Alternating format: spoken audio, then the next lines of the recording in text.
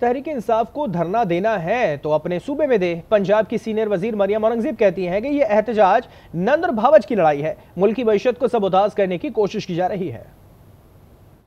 Protest आपका सियासी right है, कॉन्स्टिट्यूशनल राइट है, लेकिन धरना देना है तो आप धरना अपने सूबे में दें।